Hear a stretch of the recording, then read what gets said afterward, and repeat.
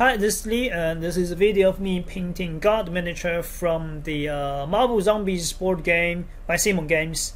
Uh, the video is about 32 minutes long, and then the first 20 minutes uh, is about me talking about the process and then the whole process of me painting this miniature.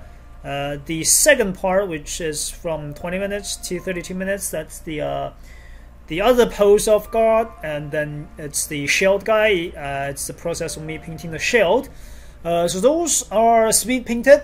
Each one of them took me about 10 minutes or so. Uh, ideally, you should be able to finish one of those uh, in, in 10 minutes um, by using this method, obviously.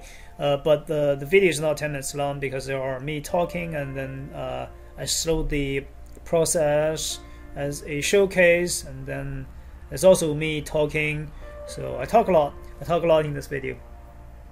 Anyway there are seven of those uh, miniatures in the game and then there are two poses. There's 14 uh, shield agents or with with, with, with actual uh, heavy armor and uh, shield as well. Those are essentially uh, fatties in traditional Zombicide board game uh, because in Marvel Zombies you're playing infected superheroes, so zombies, and then against not infected superheroes and shield agents. So uh, those are essentially the, the zombies you meet in the traditional Zombicide.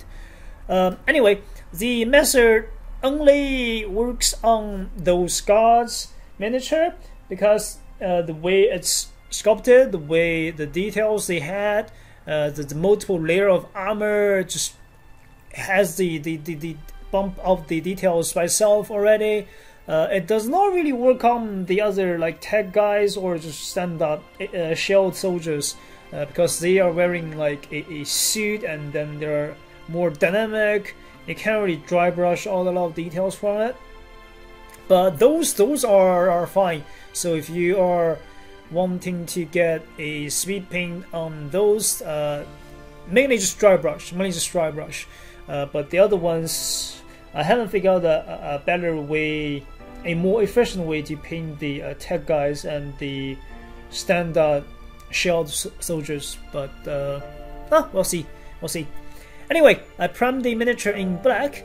Uh, I should probably using dry brush first, but I, I, I did actually paint the base first, which was not ideal because if you paint the base first and then you apply the dry brush, the dry brush will affect the, the you will you will see a lot of small dots, small dots on the base as well because the, the way dry brush works is essentially apply small particles of the paints to the uh, miniature and then it will just splash onto those uh, areas underneath the miniature as well so it will affect the base. So ideally you should use dry brush first and then apply the color of the base uh, secondly. But uh, in this video I uh, I paint the base first because there's also like a wait time just to get the paints dry.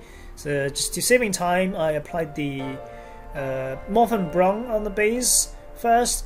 Um, if you want a if you want a large area to get covered with paints like quickly uh, add a little bit more water in the brush so they, they, they can spread like faster. Um, and also that that thins the paints a lot if you want like multiple layers on top. Uh, for dry brush uh, any dry brush will do. Um, I was using just a standard a flat dry brush. If you have a fancy dry brush like a proper dry brush dry brush from either Artis Opus or other brands uh, they should work probably even better uh, when you're doing the apply the dry brush, try to follow one direction, uh, or at least uh, in a similar direction. Don't just dry brush from the left to right and then from the right to left again. Try to follow one direction, uh, at least for uh, one part of it, and then focus more on the areas you want the you want the what you want the highlights to hit. So for the front bit, the left leg, the left uh, shoulder are the main uh, areas I hit. So they are brighter than the rest of the area.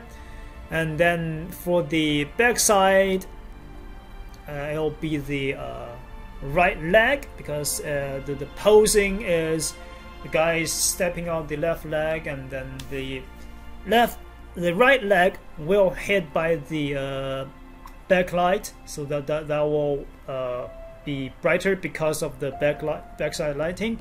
Um, as you can see yeah so that's the uh, blue lighting effects I will apply at the very end. Uh, and then just some kind of random dry brushing to adding a little bit more randomness of the uh, of this highlights. Uh, it, it basically works as a uh, edge highlighting for every single small pieces of the armor. Um, oh, the paints I use here all from Games Workshop. Uh, the mainly just base paints. So the it was Abaddon Black. It was either Corax White or Ceramite White. I can't remember which one because I have both, and then I sometimes just use either one of them. Uh, then the blue was Macragge Blue. The this uh, dusty color is Zandri Dust. Uh, they're all base paints. The uh, cyanish blue color I will be using uh, was the uh, God Blue. That's layer paints. So there's no like uh, contrast or shades or wash or any like speed paints color uh, paints used in this video. Um, this is just to uh, the current process is just to bump out all those details on the base. So Marvel Zombies, uh, the sport game has every single miniatures a sculpted base, which is very nice. Uh, set up a small diorama by itself already, and then there are a lot of details on the base. So for this god, it's, it's just uh, on, on I don't know random road or straight, and then you can see a lot of small uh, shredded rocks, and then one piece of paper the front, the other piece of paper the back, and then there is this Coke cup with a straw still inside, being uh, squished, crashed on the floor there.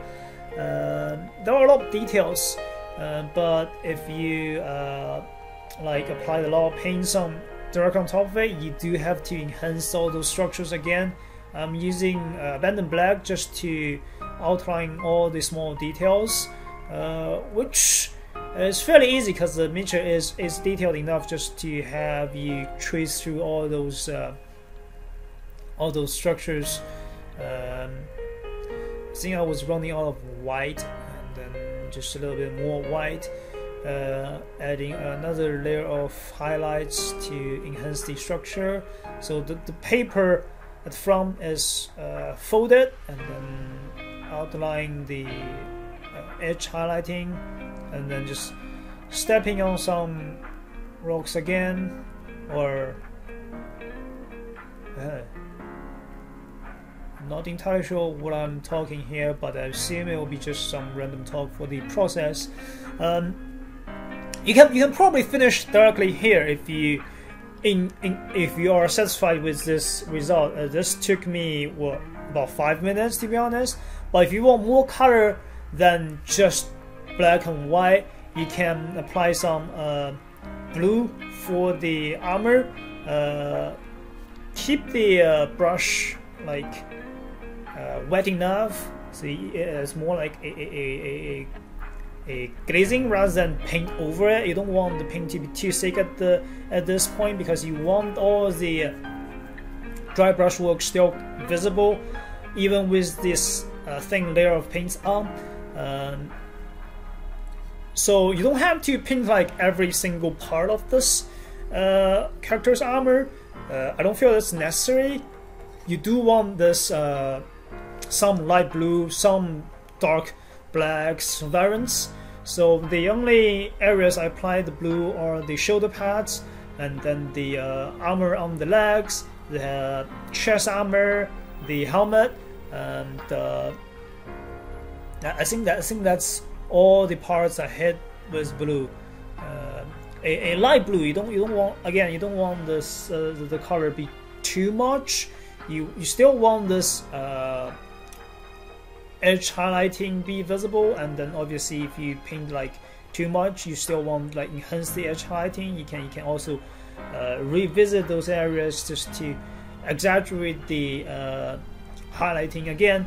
And then there are a few parts that your dry brush may or may not hit. You can also manually highlight those as well.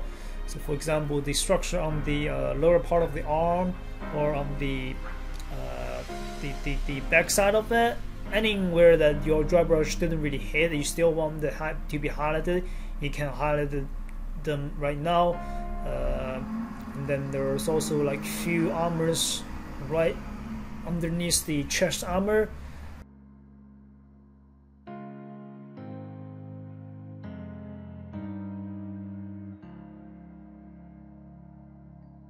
Also this this like big plate uh, here. And and then because you want some like strong highlighting on it as well so you can uh, just draw some straight lines and then sideways follow the same direction. Um, if you want all the highlights from the right to left do it for every single of them. Uh, don't don't put don't put like a, a left to right highlights on one of the pieces and put down right to left on the other pieces. That all makes a bit weird. Um, so essentially, just trying to put some highlights on, on those parts. You still treat those whole pieces in one huge chunk of metal to apply those highlights. Uh, mainly on flat surface, so you don't want put those highlights uh, onto those uh, rounded like knee armor or uh, or like shoulder bed. You don't really want that. You want those highlights on only the uh, huge flat surface. And then uh, on the back side, there's uh, uh blue uh, backlighting effects. Uh, you can start to apply some of the parts like here straight away. So basically, the back side of the left right leg, and then also this side plate on the on the side as well and then there's a, a big chunk of armor uh, right at the back. Um, potentially the the lower parts of the uh, uh, armor on the uh, right right right arm. And then just more edge highlighting just more like just those kind of straight highlights to exaggerate the uh, the, the highlights the, the material of the the miniature uh, not not the material of the miniature but material of the, the armor. Um, anyway just to add some extra information on those miniatures.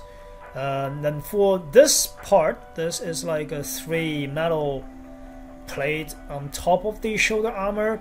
Um, just paint one straight uh, line from the top to the bottom and then they'll create some kind of uh, nice highlights for those kind of rounded metal. Um, and again just some edge highlighting to enhance the, the uh, structure of the armor and then to add a little bit randomness of the highlights. And then more uh, blue color applied to this uh, back lighting. And then enhance the uh, highlights on the fingers to exaggerate the uh, structure of the, the hands.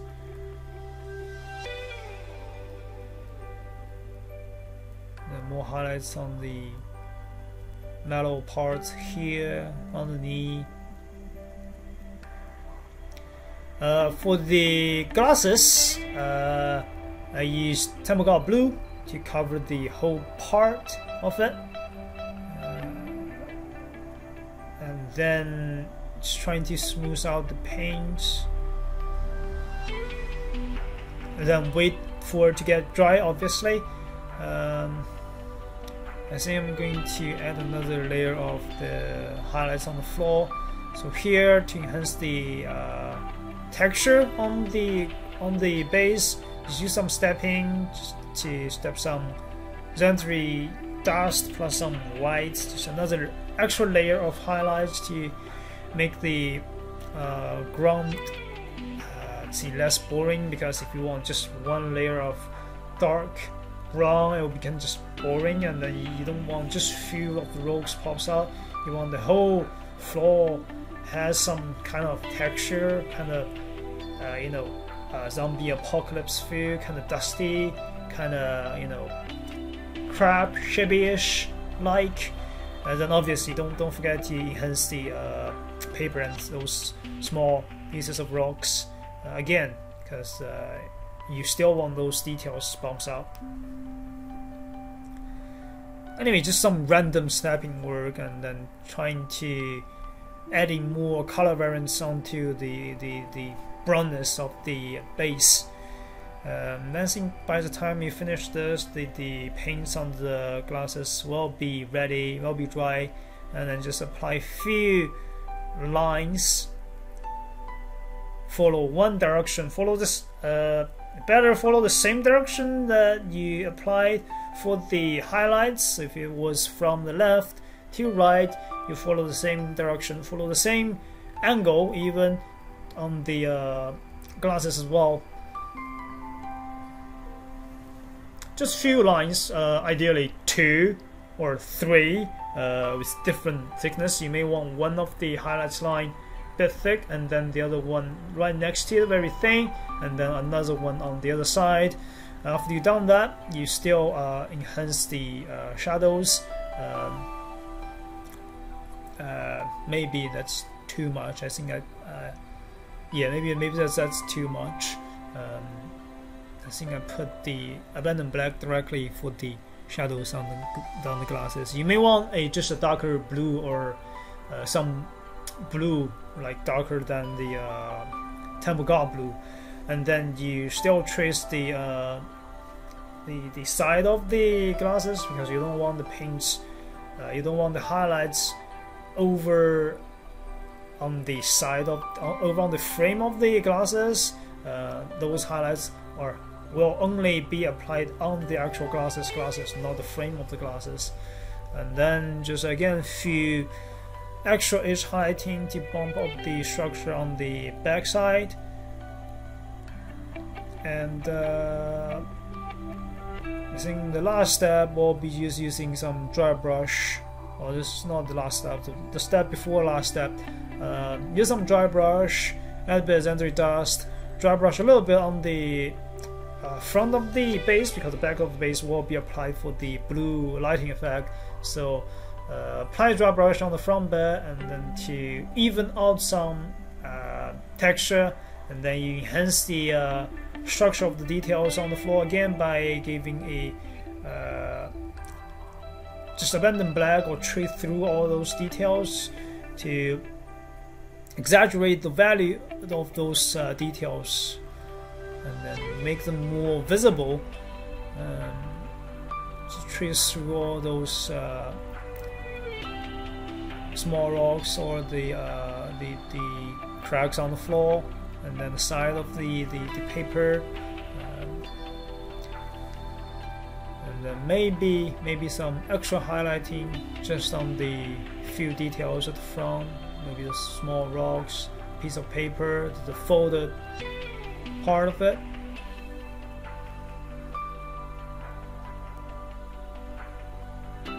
Some small parts, uh, it's not necessary for the base, but if you want all those small details still be visible, you should highlight them again. Um, that's pretty much it. The final step will be using dry brush to apply the uh, Temple blue from the side. Uh, you, you again dry brush apply to uh, those highlighted area already and then the base because you want the uh, colors um, be spreaded from this one angle to all the parts you've uh, previously highlighted. So from the side, uh, well, when you're using dry brush, you can either use the specific dry brush paints, alternatively, just any brush. Just make sure you try the brush out on either your skin or your nails first to make sure it's not too much water in the brush. Make sure it's dry brush, dry brush, not wet brush. And then maybe you want to add some extra highlights on the the the, uh, the bottom bit of the arm, and then there are a few areas you may miss through the dry brush, uh, some loose ends. We won't fix that, but uh, this is more or less the whole process of me painting this god, uh, this this uh, god miniature uh, shield agents. Um, random dry brush trying to spread all the blue lighting effects on the whole back side of them, even a little bit at the front to to have you uh, to have this miniature be visible at the front as well, and then there is a backside lighting of it. So that's more or less it. Uh, you also you may want to uh, paint through the the uh, side of the base as well to if you want a clean black side of it. Um, all right, moving on to the shield guys. So they they're using the uh, pretty much same processing technique because this one has the actual shell to paint, which which largely increase the the time you would spend on this miniature. So it's just uh, annoying. But uh, for the main body part, uh, still using the same technique, same dry brush process, same uh, color, uh, same highlights. But for the shield, uh, I paint the shield in mainly white. Um, but because it's like a really big flat surface, so you want some mm, nice textures on it rather than just a flat uh, color. Uh, so I left a lot of brush strokes on those, uh, specifically just for the shield, obviously. Um, so when I paint the shell, I try to keep all the brush strokes on it to adding to add to add more texture to the shell. Um, so I edge highlighting it first, and then uh, apply the. I, don't think I applied the pure white. I think I add a little bit of Tamiya blue to still have the shield a little bit color. So when you paint the shell, you want the color, you want your brush from the top to bottom and then to have them in a straight uh, perpendicular line on it. And then uh, you can use side of the brush, but uh, for, for the first few layers only. Eventually, you'll still use the tip of the brush to to create brush strokes, to create this texture on the shield. Um, then because the shield is kind of curved, you you want uh, some highlights, some shadows uh, on the shield as well. So you want uh, maybe less bright on the very left side, and then very bright um, just next to it, and then some darker area, and then bright again. You may want uh, the colors variance in that specific way. Uh, and then just keep applying the brush strokes on, on it and then layer by layer you will get a, a uh, let's see a, a, okay result of the shield uh, the the the, the, huh, the shield pattern the eagle pattern on the shield is pretty uh, nice sculpted. It's pretty detailed. Uh, you can just apply some uh, dust to. I used to. Uh, I was uh, using the Averland Sunset, but I think that yellow is a bit too bright for this logo. So then use Zandri Dust, which I think is fine for it. Again, just keep applying uh, the white from, well, either from top to bottom or just from middle of it, but you, you keep all the brushwork trying to connect them together from top to bottom. Um, so there are brighter parts, there are darker parts, uh, trying to not keep the whole shield in one tone. Uh, you put the light, the shadow, the light, the shadow, you put them uh, in, in different orders. Uh, but you still keep the light, keep the keep the light highlights bit, keep the shadow bit, and then just trying to keep all your brush strokes. Uh, the whole show took me about 10 minutes I'd say. Maybe less if you have a, a, a larger brush. I think I should use, probably use a larger brush. I think I was using a size 1 or maybe 0 even? I, was using size 0 it, it'll be probably easier if you're using size 2 size 3 even to apply like colors on those, those kind of large flat surface. Uh, but again trying to keep uh, the highlights and the shadows all together on the shell so following shadow area highlights area shadow area highlights area or shadow area highlights area highlights area shadow area uh, which the, the order doesn't really matter but you want you definitely want both highlights and shadows all on the shield as well. It's it is flat surface but it is also curved and you do want to show more details on the shield rather than just a flat plain color of uh, either white or whatever the color you were trying to apply.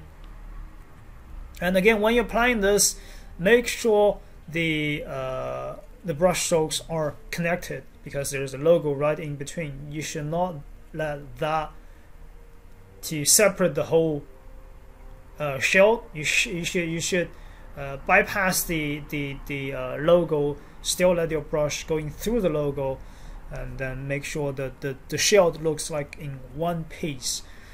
Um, then again, just more edge highlighting. Um, there is like a small window just on top of the uh, shield logo um, and also the top parts on top of the window is a separated piece, a separate color piece. So here I used uh, just some light gray to create highlights. Uh, this part is fine to not following the all the highlights uh, order of the rest of the shell because it's a different material, it's a different part of it, which is fine. Um,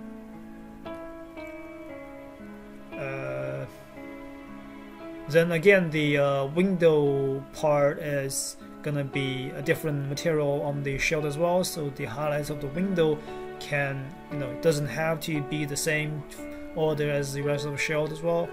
Um, but essentially, you're just try, trying to keep all the brush strokes you're using, and then trying to create this um, clean uh, highlights and uh, shadows contrast on the shield and then edge highlighting to seal the whole color area. Mm, boring, tedious work to be honest. It's trying to repeat uh, applying brush strokes. Uh, again, edge highlighting to seal the whole area.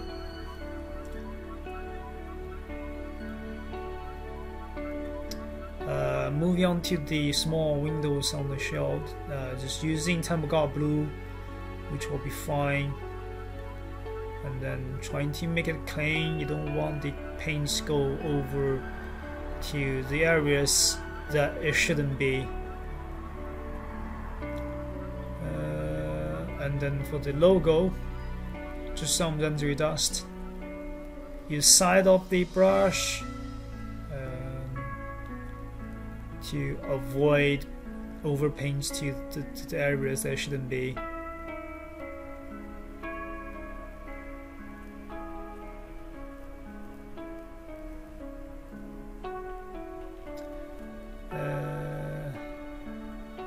Just waiting for the window to get dried. And then you can also apply a, a, a another layer of highlight just on the side of uh, well the the highlights follows. So for this case the highlights was on the left side of shield. So I tend to make the left side of the logo also brighter and then apply the uh, environment lighting because environment lighting is gonna, hit the shield as well and then also to give a it may not be a correct lighting setup but it does add a little bit information on the shield rather than just pure black and white highlights. You also add another layer of color on, on the shell, which will makes the shell looks less boring. Uh, again, for the highlights of the window, just apply some thin white lines will do. Um, keep the lines straight, keep the lines just in the window area. Do not let the paints get to the area it shouldn't belong. Um, and then seal the whole thing with either edge highlight. I don't think I edge highlighted the glasses here. I think I just uh, applied another layer of Abaddon black to frame this whole small window thing. but yeah, this is more or less the uh, process of the shield. So uh, the regular shield took me about 10 minutes. The shield guy took me 10 minutes plus the shield. uh, I I uh, in fact, I don't think I don't think the, the, the, main body took me 10 minutes. But anyway, uh, if you want to paint the shield like uh, in a nice and then a way that contains like more than just flat colors. Uh, this is one of the methods you can you can try to achieve. This is one of the effects you can try to achieve, uh, leaving enough brushstroke and then some highlights, some shadows it. Again, the final steps still using a dry brush to apply the uh, environment lighting, the, using Temple Guard Blue to hit the areas that you want the, the, the lighting to hit. Again, it may not be the correct lighting setup. Uh, you can you can achieve the a better lighting effects with airbrush, but for dry brush, this is uh, most likely what you can achieve.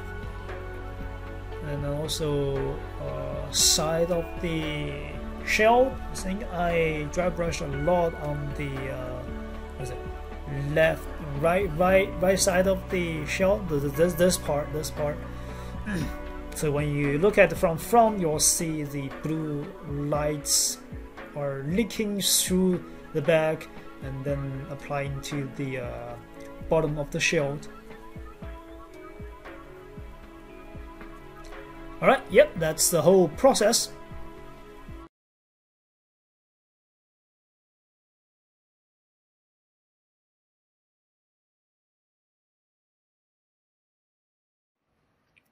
Right, that's the squat. That's the final pieces look like. They are, they may not be like exactly the same, but they are more or less on the same painted level. You can still see the backside of the helmet is not really painted, uh, other than the primer, obviously. And you can see some of the uh, highlights are not like very nicely, like perfectly applied, but they are more or less the same quality. Uh, the shield wise, you can see the two shells are not the same. Some of them may have like maybe different, maybe some paint just spat over to the areas they shouldn't be. They are each one of them are different yet similar.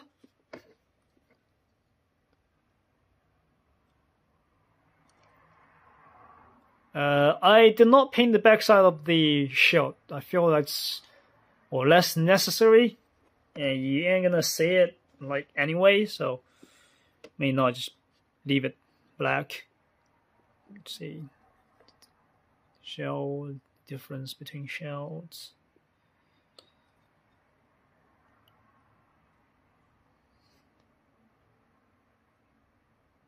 Hmm. This is even like there is a weird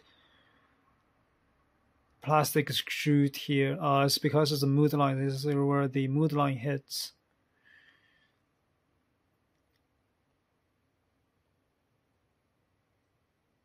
They're different, yet similar.